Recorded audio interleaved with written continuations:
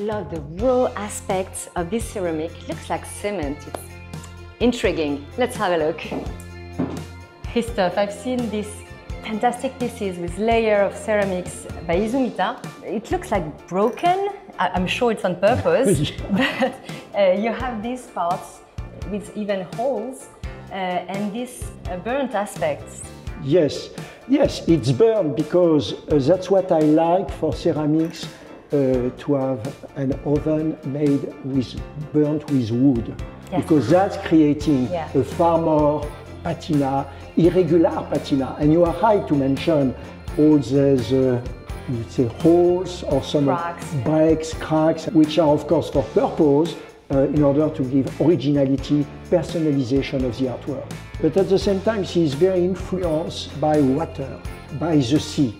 And that's clearly something that you can uh, find with these waves. Yeah, Yes. exactly.